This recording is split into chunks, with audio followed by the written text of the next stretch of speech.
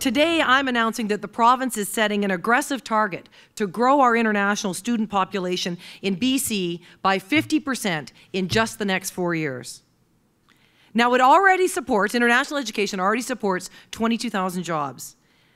They pump, international students, $1.25 billion into our, into our economy. If we can meet those targets, and I believe we can, in fact, I believe we can beat those targets, if we can meet those targets, we can put 9,000 people to work and put another $500 million into our economy. Madam Premier, the emphasis that your government is placing on international education, a part of its job strategy, is very encouraging. The government's support of internationalization of our universities is an important contribution to the talent agenda of BC universities.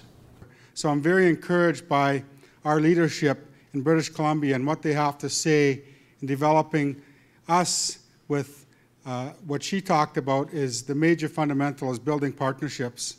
This is our chance. The time is now. It's British Columbia. Canada starts here. Thank you very much.